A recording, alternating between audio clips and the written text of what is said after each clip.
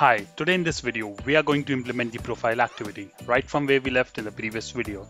This is a quick preview of what it's gonna look like at the end of this video. We will create this UI right from the scratch, so sit back and relax. I would explain each and everything in detail. Let's straight away get down to the business and break the design quickly, this time in a little different way. First of all, we have the parent layout as the constraint layout, which would have two children, each occupying 55% and 45% of the screen size with the help of the guidelines. So the top section would be occupied by another constraint layout, let's call it child constraint layout, inside which we would have number of views like image view at the top for back button and options. Then few text views, each for activity heading, profile username or profile stats such as posts, followers and following. We will customize the fonts for each of them too. Next, we have a circular image view. For this, we would use our already used library for circular image view. For the bottom section of the parent constraint layout, we would have a staggered grid recycler view, where each item would be user's post, for which we would import a dependency for rounded image view. To begin with, you first need to pull the code from a GitHub repository. The link to that is in the description. If you haven't watched the first video, go and watch it first. It's on the right top corner, flashing right now. Let's move to the implementation part.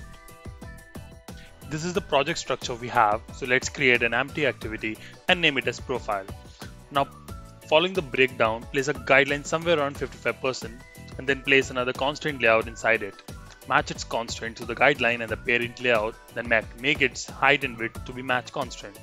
Provided with properties like ID and elevation. Now for the background, let's create a drawable file and define the properties like shape, corner radius, and background color. Then move back to the XML file and add this drawable under background property. So this is how it looks now. Now let's place some guidelines to drop the two image views we need, one for the back button and the other for the options. Drag and drop the image views one by one and select the source of image as you want for your app. Match the constraints to the guidelines we have placed and as usual make the height and width to be match constraint.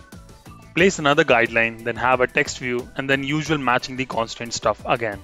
Let's change the text and do the formatting by setting size, style and color of the text. Next, let's have the circular image view for which we have already imported the dependency. Define its source, match the constraints and add some padding to it. I'll time-lapse the repetitive steps to save some time. We will do similarly for the rest of the text views that is user bio, profile stats for followers, follows and posts. Let's run this once and see how it looks. I guess I forgot to put an intent on the home profile pic. Let's do that first. Define the circular image view, initialize it, and then put an on-click listener on it, inside which we would put our intent to profile activity. Now it works fine. Let's move on to staggered recycler view. This is going to be similar to the recycler view we implemented in the first video, where I explained all of it in detail twice. So we'll review it briefly this time. Do watch it once for a proper explanation.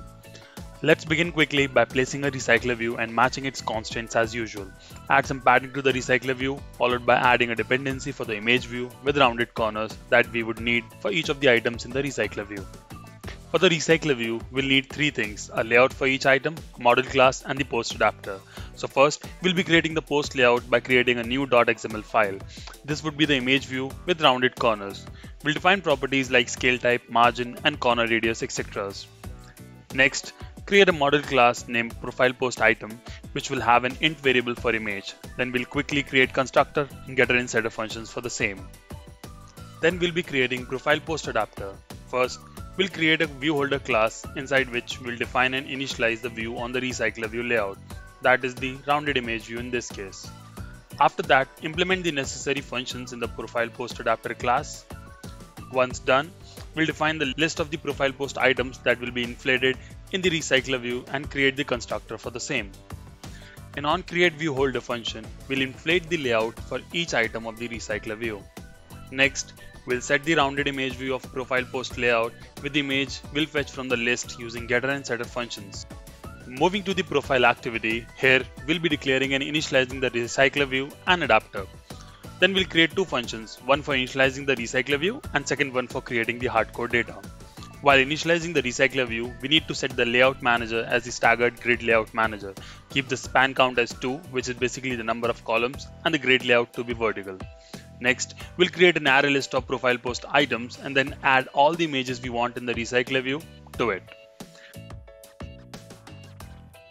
Then we'll call both the functions in the onCreate method.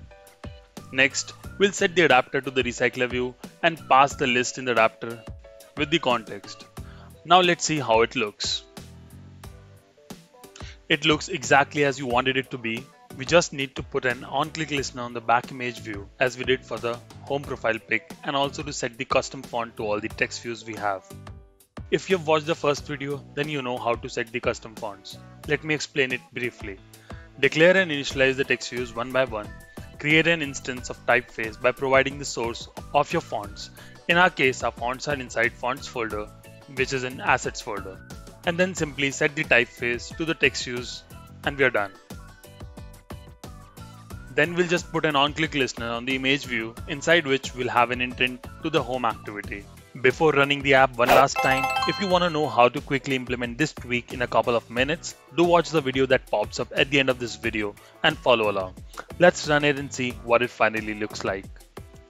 It looks nice to me. Let me push the code to the GitHub repository. You can find the link in the description.